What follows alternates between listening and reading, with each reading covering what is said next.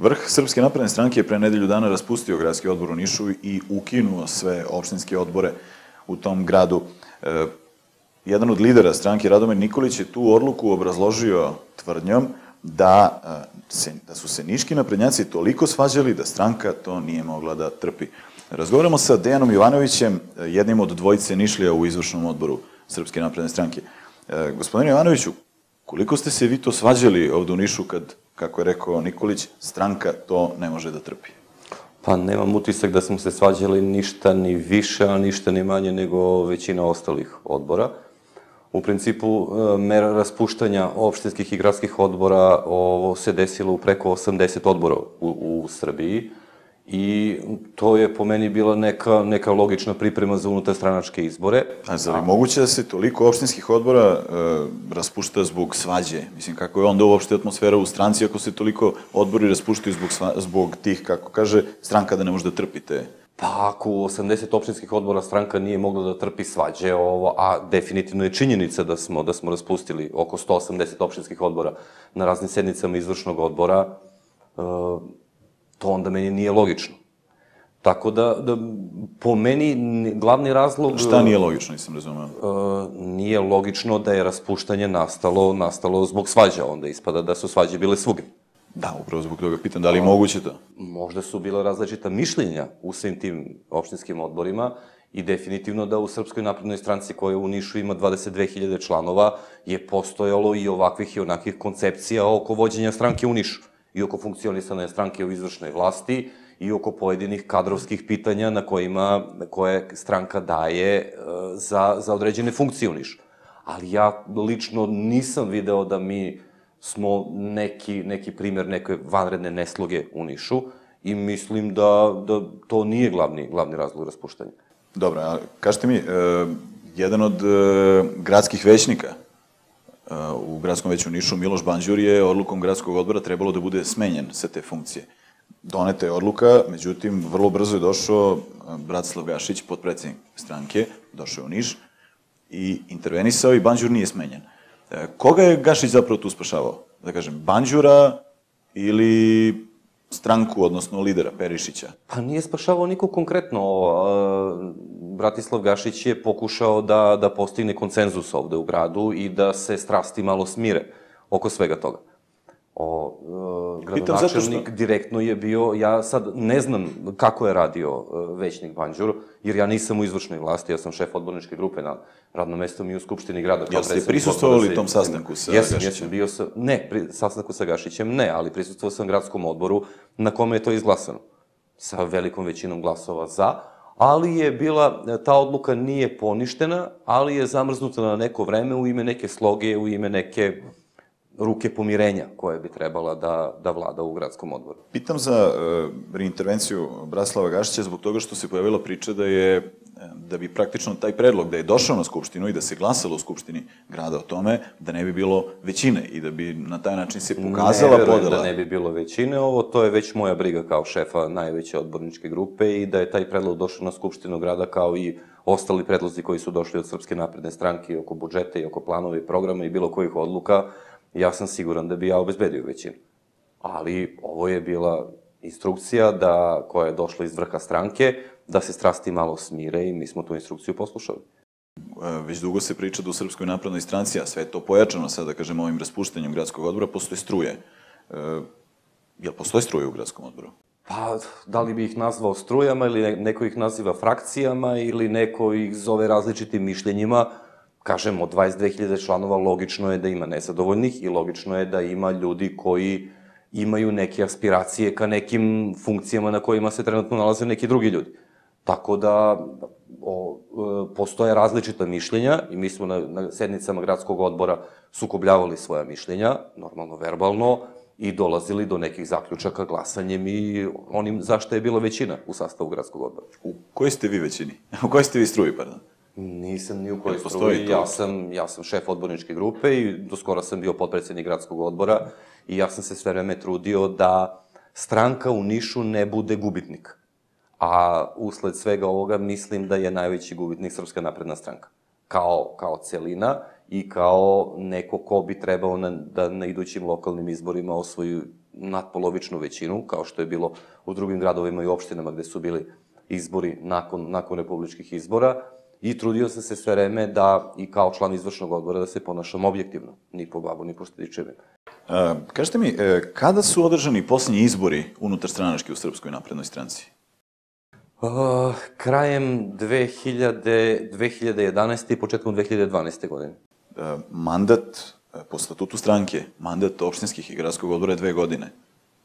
Da, to... Zbog čega nije, nisu to je, nije bilo to je izbora do tačno, sada? ali niko, niko ne može u opštinskom odboru ili gradskom odboru da, da sprovede izbore pre nego što izvršni odbor stranke koji je zadužen za unutar partijsku organizaciju, da datum i odluči na koji način će se vršiti. E, može tu onda da se dovede u pitanje, ajde da kažemo, legitimnost tih organa koji su od e, kraja 2011. odnosno početka 2012. do sada vodili Ne, apsolutno ne, zato što su oni imali odobrenje vrha stranke i odobrenje izvršnog odbora da svoju funkciju obavljaju do sledećih unutarpartijskih izbora.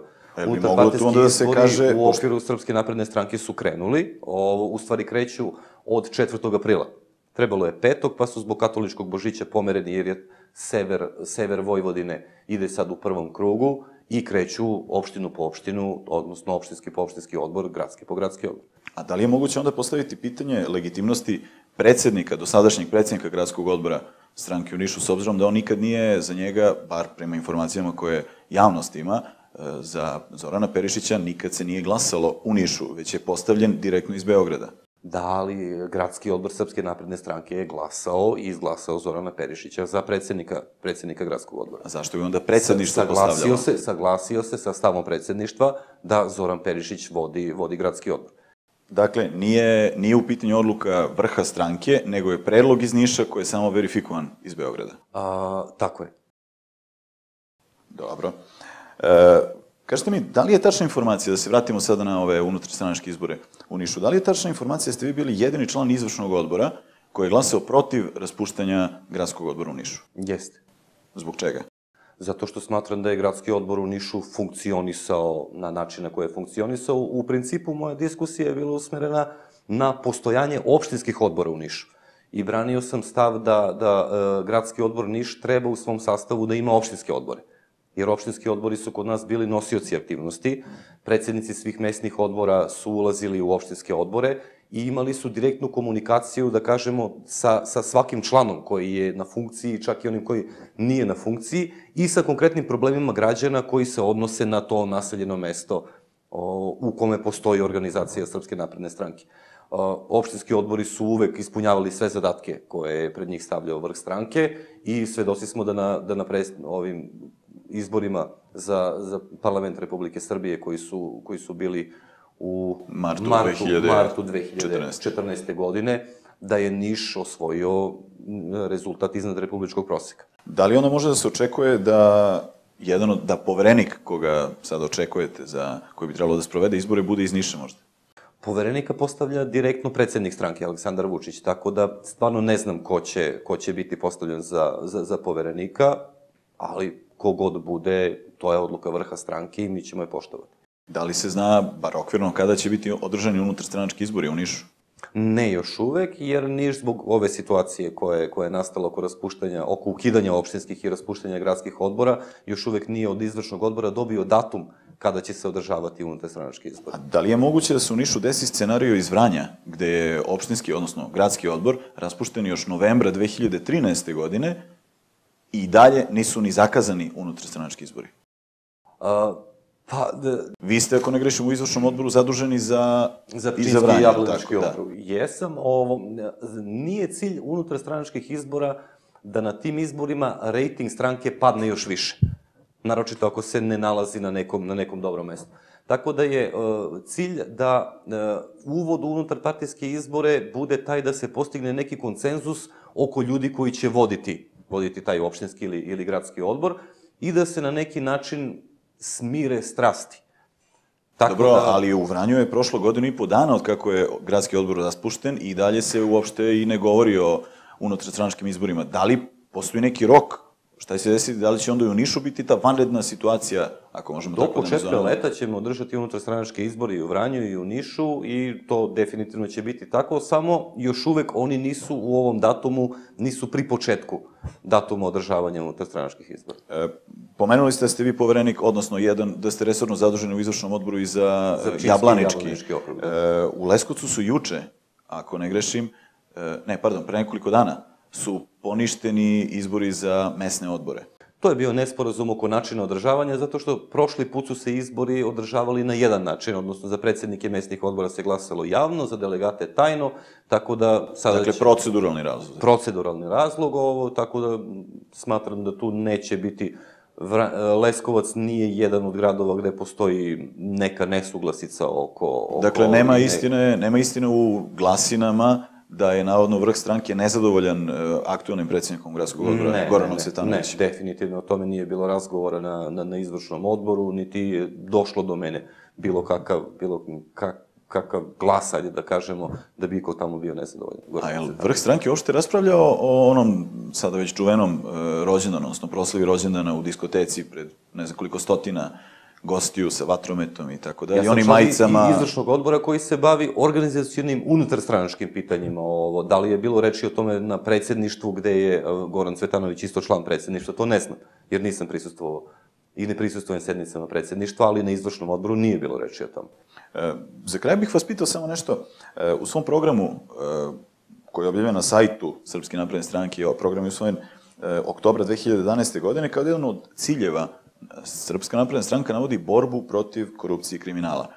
Mi trenutno u Nišu imamo e, na visokim javnim funkcijama ljude koji su optuženi za korupciju. Sa druge strane, e, Agencija za borbu protiv korupcije je preporučila smenu zamenika predsednika Skupštine grada, koji je takođe funkcioner Srpske napredne stranke.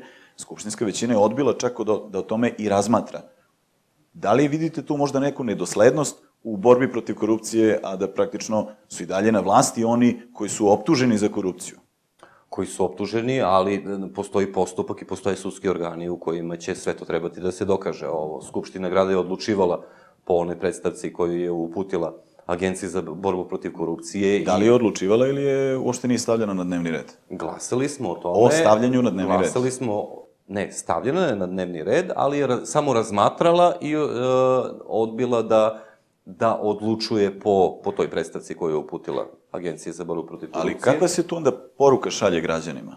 Ako je Agencija za borbu protiv korupcije kao pravosnažno je dakle završen taj postupak protiv e, zamenika predsednika Skupštine grada, dakle, dakle jednog od najviših funkcionera u gradu, zaključeno je da on mora da bude, da bi trebalo da bude smenjen zbog toga, što, zbog toga što je kršio zakon, a skupštinska većina kaže ne, mi smatramo da ne Agencija treba. za borbu protiv korupcije je mogla da njemu ukine tu funkciju na koju je on postavljen. Što znači da ni oni nisu bili načisto sa sobom da li da izreknu takvu meru ili da ne izreknu takvu meru. Da su oni dostavili rešenje Skupštini grada po kojoj mu po automatizmu, odnosno po odluci e, Agencije za borbu protiv korupcije prestaje ta funkcija na koju je imenovan, mi ne bi imali gde nego da to usvojimo. Jasno, A ali oni su odluka agencije samo- je, odluka agencije je praktično neka vrsta, e, ta o kojoj sada govorimo, neka vrsta kazne, odnosno sankcije za ono ko je kršio zakon. Ali je činjenica da je agencija utvrdila pravosnažno da je potpredsednik Skupštine grada Niša prekršio zakon o agenciji za borbu protiv korupcije. time što je